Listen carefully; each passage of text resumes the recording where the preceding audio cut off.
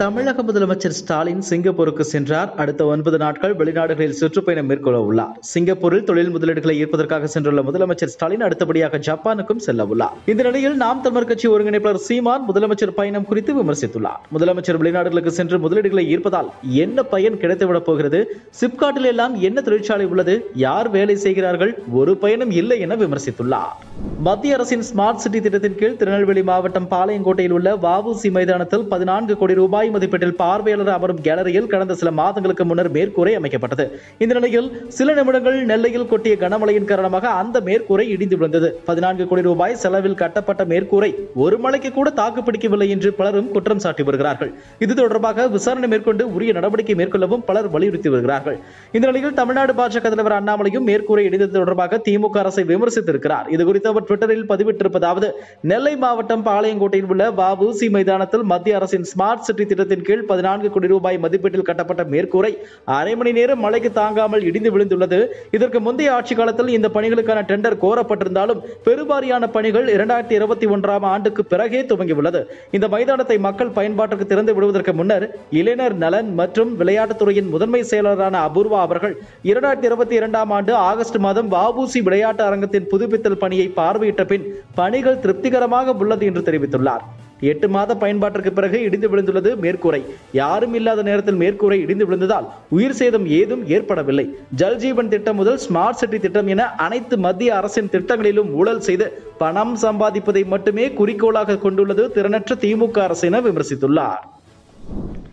சென்னை தலைமை செயலகத்தில் மின்சாரம் மதுவிலக்கு மற்றும் ஆயத்தீர்வைத்துறை அமைச்சர் செந்தில் பாலாஜி தலைமையில் மாவட்ட அளவிலான அனைத்து துணை ஆணையர்கள் மற்றும் உதவி ஆணையருடனான ஆய்வுக் கூட்டம் நடைபெற்றது.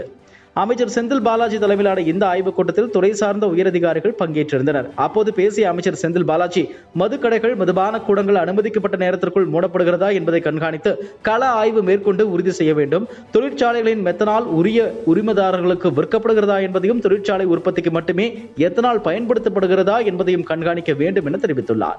மது அறிந்துவிட்டு வாகனங்கள் ஓட்டுவதால் ஏற்படும் தீமைகள் குறித்து விழிப்புணர்வு ஏற்படுத்த வேண்டும். மாவட்ட மாநில எல்லைகளில் சோதனை சாவடிகள் அமைத்து காவல்துறையுடன் இணைந்து கண்காணிக்க அறிவுறுத்தல் வழங்கப்பட்டுள்ளது. மேலும் வெளிமாநில மது கள்ளச்சாராய விற்பனையை முற்றிலும் தடுக்க நடவடிக்கை எடுக்க வேண்டும் எனவும் ஆய்வுக் கூட்டத்தில் அமைச்சர் அதிகாரிகளுக்கு அறிவுறுத்தியுள்ளார். மல்யுத்த வீரர் வீராங்கனைகள் தங்களின் சொந்த பாதுகாப்புக்காக போராடும் நிலைக்கு அவர்களை நிர்பந்தித்துள்ளோம் என மக்கள் நீதி மய்யம் கட்சியின் தலைவர் கமலஹாசன் கருத்து தெரிவித்துள்ளார்.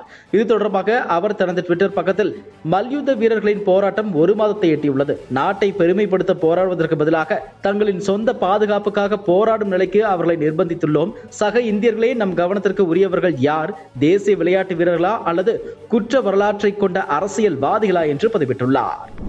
சென்னை விமான நிலையத்தில் செய்தியாளர் சந்திப்பில் பேசிய முதலமைச்சர் மு ஸ்டாலின் அடுத்த ஆண்டு ஜனவரி மாதம் நடைபெறவுள்ள உலக முதலீட்டாளர்கள் மாநாட்டில் பங்கேற்க அழைப்பு விடுப்பதற்காக சிங்கப்பூர் ஜப்பான் செல்கிறேன்.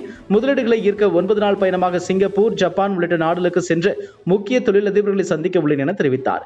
இந்த நிலையில் முதலமைச்சர் மு ஸ்டாலின் சிங்கப்பூர் சென்றடைந்தார். அவருடன் துர்கா ஸ்டாலின் மற்றும் சில அதிகாரிகள் உடனிருந்தனர். இதனையடுத்து முதலீட்டாளர்கள் மாநாட்டில் அவர் கலந்து கொள்ள உள்ளார். தமிழகம் முழுவதும் மாணவர்களுக்கு கோடை விடுமுறை அளிக்கப்பட்டிருந்த நிலையில் இன்னும் ஒரு வாரத்தில் மீண்டும் பள்ளிகள் திறக்கப்பட உள்ளது.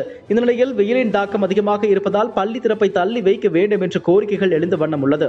இந்த நிலையில் இதுகுறித்து விளக்கமளித்த அமைச்சர் அன்பில் மகேஷ் திட்டமிட்டபடி பள்ளிகள் திறக்கப்படும் என்றும் ஆறு முதல் பன்னிரெண்டாம் வகுப்பு மாணவர்களுக்கு ஜூன் ஒன்றாம் தேதியும் ஒன்று முதல் ஐந்தாம் வகுப்பு வரை உள்ள மாணவர்களுக்கு ஜூன் ஐந்தாம் தேதியும் பள்ளிகள் திறக்கப்படும் என்றும் தெரிவித்துள்ளார். மேலும் பள்ளிகள் திறப்பதில் மாற்றம் இருந்தால் முதலமைச்சர் அறிவிப்பார் என்றும் அவர் தெரிவித்துள்ளார். அதிமுக பொதுச் செயலர் எடப்பாடி பழனிசாமி வெளியிட்டுள்ள அறிக்கையில் நிறைவேற்ற முடியாத பொய்யான வாக்குறுதிகளை அளித்து பின்வாசல் வழியாக ஆட்சிக்கு வந்த இந்த திமுக அரசு கடந்த இரண்டு ஆண்டுகளில் பொதுமக்களுக்கு பண பலன் அளிக்கக்கூடிய எந்த வாக்குறுதிகளையும் நிறைவேற்றாமல் புதிய திட்டங்களையும் தொடங்காமல் இருப்பதாக குற்றச்சாட்டுகள் எழுந்துள்ளன. ஆட்சிக்கு வந்தவுடன் தொழில் முதலீடுகளை ஈர்க்க செல்வதாக கூறி தன் குடும்பத்துடன் தனி விமானத்தில் துபாய்க்கு இன்ப சுற்றுலா சென்றார் முதலமைச்சர் மு ஸ்டாலின். ஒரு சில நிறுவனங்களுடன் தொழில் தொடர்பான ஒப்பந்தங்கள் ஏற்படுத்தப்பட்டதாக அறிவித்தார். ஆறாயிரம் கோடி முதலீடுகள் வரும் என்று வாயால் வடை சுட்டார். இது நடந்து முடிந்து எழுநூறு நாட்கள் கடந்து விட்டன. இதுவரை எந்த முதலீடும் வந்ததாக தெரியவில்லை. இந்த நிலையில் ஏற்கனவே குடும்பத்துடன் துபாய் இன்ப சுற்றுலாவை மேற்கொண்ட திமுக அரசின் முதலமைச்சர் இப்போது மீண்டும் சிங்கப்பூர் மற்றும் ஜப்பான் நாடுகளுக்கு தொழில் முதலீடு ஈர்ப்பு என்ற பெயரில் வெளிநாடுகளுக்கு சுற்றுலா மேற்கொண்டுள்ளார். தமிழ்நாட்டிற்கு வெளிநாட்டு முதலீடை ஈர்க்கப் போகிறாரா அல்லது முதலீடு செய்ய போகிறாரா என்று தமிழக மக்களும் சமூக ஊடகங்களும் கேள்வி எழுப்பியுள்ளன என அவர் கூறியுள்ளார். இதுபோன்ற செய்திகளை மேலும் தெரிந்து கொள்ள எங்களது யூடியூப் ஃபேஸ்புக் மற்றும் ட்விட்டர் ஆப்களை சப்ஸ்கிரைப் செய்யவும்.